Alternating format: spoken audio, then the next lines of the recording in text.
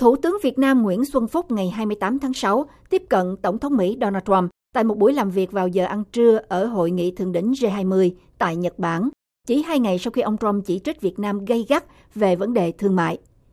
Ngày 26 tháng 6, ông Trump cáo buộc Việt Nam đang lợi dụng cuộc chiến tranh thương mại Mỹ-Trung để thúc đẩy xuất khẩu sang Mỹ, khi ông nói rằng Việt Nam gần như là kẻ lạm dụng tồi tệ nhất hơn cả Trung Quốc. Video của VTV cho thấy là tại Osaka hôm 28 tháng 6, Thủ tướng Việt Nam Nguyễn Xuân Phúc tiếp cận ông Donald Trump sau khi Tổng thống Mỹ ngồi xuống để bắt đầu một buổi làm việc vào giờ ăn trưa của hội nghị G20. Theo phóng viên Tòa Bạch Ốc của VOA tháp tùng ông Trump tới dự hội nghị.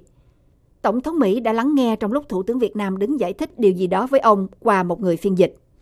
Việt Nam là một trong tám nước được mời tới dự hội nghị đang diễn ra ở Nhật Bản. Báo Nhà nước hôm 28 tháng 6 nói, ông Phúc và ông Trump đã gặp gỡ bên lề hội nghị và rằng Tổng thống Trump hoan nghênh quyết tâm và hành động quyết liệt chống gian lận xuất xứ hàng hóa và gian lận thương mại của chính phủ Việt Nam.